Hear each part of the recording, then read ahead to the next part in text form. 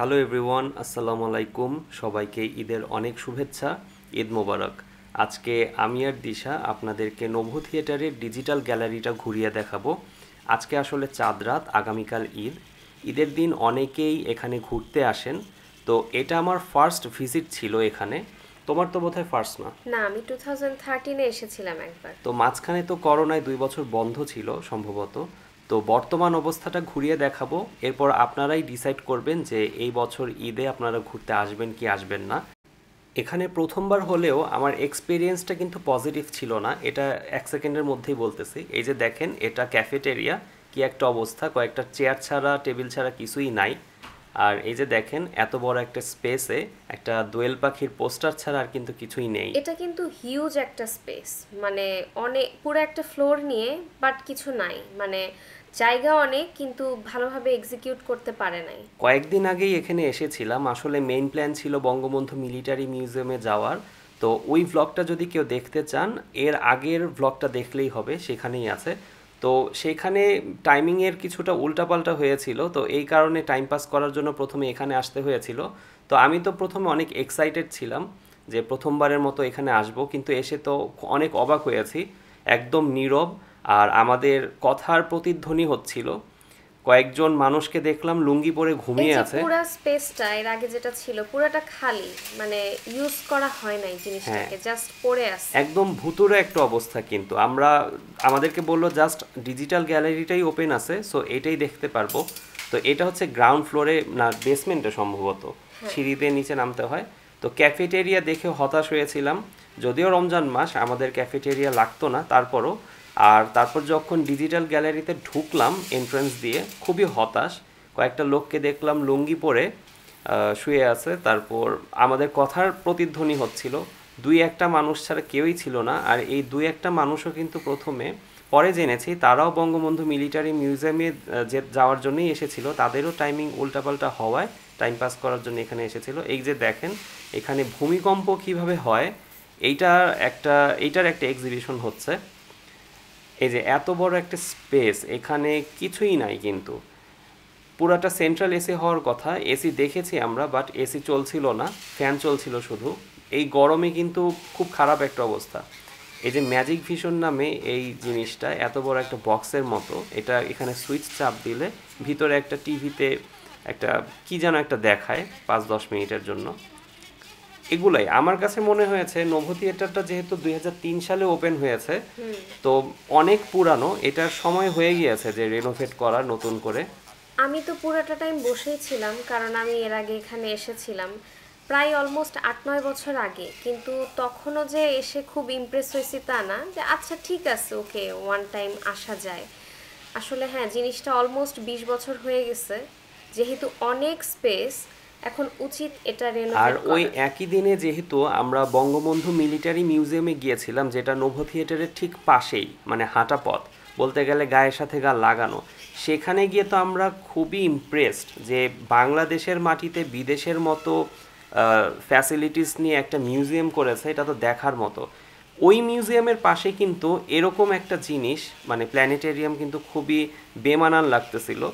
হয়তো বা বিশ বছর আগে, দুই হাজার তিন সালে, বিশ বছর আগে হয়তো বা এটা খুবই উন্নত মানের একটা কিছু ছিল ট্যুরিস্টদের জন্য বা ভিজিটার্সদের জন্য। বাট এখন আমার কাছে ব্যক্তিগতভাবে মনে হয়েছে যে সময় হয়ে গিয়েছে, প্রযুক্তি অনেক আগিয়ে গিয়েছে, আর আমরা এখন মডার্ন একটা এরাতে বাস করি। এখানে এই ধরনের ওল্ড টেকনোলজিস বা ওল্ড এক্সিবিশনগুলো কিন্তু মানায় না। এই যে দেখেন সব কিছুর উপর ময়লা কেমন একটা মানে কি বলে, আঠা আঠা ভাব আর প্রচণ্ড গরম। এসি ছিল, এসি কাজ করতেছিল না।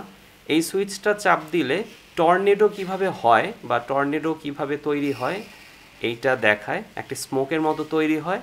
উপরে ফ্যান আছে, ফ্যানটা ঘুরে, ফ্যান ঘোরার কারণে এই এই যে স্মোকটা, সেটা টর্নেডোর মতো একটা মানে রূপ নেয়। তো এইভাবে আসলে শেখানো হচ্ছে যে কীভাবে টর্নেডো কাজ করে, কীভাবে টর্নেডোর সৃষ্টি হয়। ডিজিটাল গ্যালারিতে আরও দেখা যায় যে থ্রি ডি থ্রি ডি টেকনোলজিটা কী বা ডিএনএ সিস্টেমটা কী এগুলা। বাট আমার মনে হয় এই যে যেমন এখানে দেখাচ্ছে যে এখানে সুইচটা চাপ দিলে পৃথিবী আর চাঁদ সূর্যের চারপাশে কীভাবে ঘুরে এইটা দেখাবে। তো এই জিনিসটা শেখানোর জন্য কিন্তু এখন আরও টেকনোলজি এসেছে না? হ্যাঁ। এটা কিন্তু খুব পুরানো টেকনোলজি মানে ইটস হাই টাইম যে এটাকে রেনোভেট হ্যাঁ করতে এটা কিন্তু খুব বোরিং মানে একটা সুইচ চাপ দেওয়ার পর এটা ঘুরবে সূর্যের চারপাশে। এটা ছাড়া দেখার কিন্তু আর কিছু নাই এমন না যে দেখে ওয়াও হয়ে যাব। আর এই যে এই জিনিসটা এটা সামথিং একটা মানে এটা কি এটা আসলে আমরা বুঝিনি কারণ সুইচ চাপ দিয়েছি হ্যান্ডেল ছিল। সেই হ্যান্ডেলটাও হচ্ছে টেনেছি বাট কিছুই হয়নি, সম্ভবত নষ্ট। তারপর যেটা বুঝলাম, এই ডিজিটাল গ্যালারিতে অনেক কিছুই আছে, চলে, অনেক কিছুই আবার নষ্ট বা বন্ধ। যেমন এই গেমিং সিস্টেমটা এই, এইটাতে সম্ভবত এটা একটা প্লেনের ডেমো মানে প্লেন চালায় কীভাবে আকাশে, সম্ভবত এইটারই একটা গেম তো এইটাও বন্ধ ছিল। এইটা চালাতে পারলে অ্যাটলিস্ট একটু সান্ত্বনা পেতাম। ভিডিও গেমসের মতো অনেকটা বাট এটাও বন্ধ ছিল। এটা সম্ভবত কলম্বাস এগ একটা অ্যালুমিনিয়ামের মতো দেখতে সিলভার কালারের একটা ডিম। তো এই তো, জিনিসগুলো দেখেন অ্যাকচুয়ালি সুইচ চাপ দিলে নীরবে এই জিনিসটা চালু হবে, ঘুরবে। এই কয়টা জিনিস দেখা ছাড়া ডিজিটাল গ্যালারিতে কিন্তু আর কিছুই নাই, কিন্তু স্পেসটা কিন্তু অনেক বড়। আর প্ল্যানেটেরিয়ামে যাওয়া হয় নাই সেটা কেমন এটা বলতে পারতেছি না বাট এটার অবস্থা দেখে আমার মনে হয় না যে সেটাও যে দেখার মতো খুব একটা কিছু হবে। আমি গিয়েছিলাম এর আগে মানে সেটাও এখনকার যুগে আর কেউ আর কি ইমপ্রেস হবে না। হয়তো বিশ বছর আগে এইটা অনেক কিছু ছিল বাট এখন আর নাই।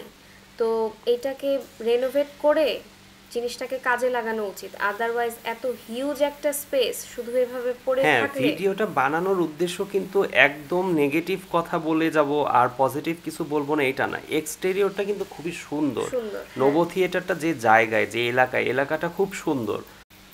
কিন্তু ভিতরে কিন্তু আসলে সত্যি বলতে দেখার মতো তেমন কিছুই নাই। এই যে এটা একটা পারদ সিস্টেম বাট এটাও যে চলে এমন না কিন্তু। অনেকগুলা মেশিনই কিন্তু চলে না। একে তো ওল্ড টেকনোলজিস তার উপর অনেকগুলোই কিন্তু বন্ধ। এটা একটা ডিজিটাল ক্যানভাস এখানে ছবি আঁকা যায়। এখন আপনিই বলুন যে আমাদের ঘরে ঘরে এখন ট্যাব থাকে, মোবাইল থাকে, তাই না? তো আমরা কিন্তু এরকম টেকনোলজি আমাদের ঘরে ঘরেই আছে। এটা এমন কিন্তু এক্সট্রাঅর্ডিনারি কিছু না, যেটা দেখার জন্য মানুষকে টিকিট কেটে এখানে আসতে হবে। তো ভিডিওটা বানানোর উদ্দেশ্য এটাই যে বঙ্গবন্ধু মিলিটারি মিউজিয়ামে গিয়ে আমরা যতটা অবাক হয়েছি এখানে এসে ততটাই কিন্তু হতাশ হয়েছি কিন্তু এলাকা জায়গা এটার এক্সটেরিয়র ডিজাইন সব কিছু আর এটার যে পসিবিলিটিস এটা কিন্তু অন্যরকম। এটাকে এটার দিকে সরকার এবার একটু তাকালে নতুন করে কিছু করার যদি কোনো উদ্যোগ নেয় তাহলে কিন্তু এটাকে বিশ্বমানের একটা পর্যায়ে নিয়ে যাওয়া সম্ভব। হ্যাঁ কারণ নোভো থিয়েটার বা প্ল্যানেটেরিয়াম বাংলাদেশে এখন পর্যন্ত সম্ভবত এটাই একটা। হ্যাঁ। তো এখন হাই টাইম যেটা দিশা বলল যে এটাকে রেনোভেট করে বঙ্গবন্ধু মিলিটারি মিউজিয়ামের মতো যদি কিছু একটা বানানো যায় তাহলে কিন্তু সোনায় সোহাগা হয়ে যাবে। একই এলাকায় পাশাপাশি দুইটা অন্যরকম স্থাপনা। যারা একটাতে আসবে মাস্ট আর একটাতে যাবেই। তো আজকের ভ্লগটা এই পর্যন্তই ছিল। ঈদে ঘুরতে বের হলে যদি ওপেন থাকে মিলিটারি মিউজিয়ামটা ঘুরে আসেন। Thank you so much for watching. Take care.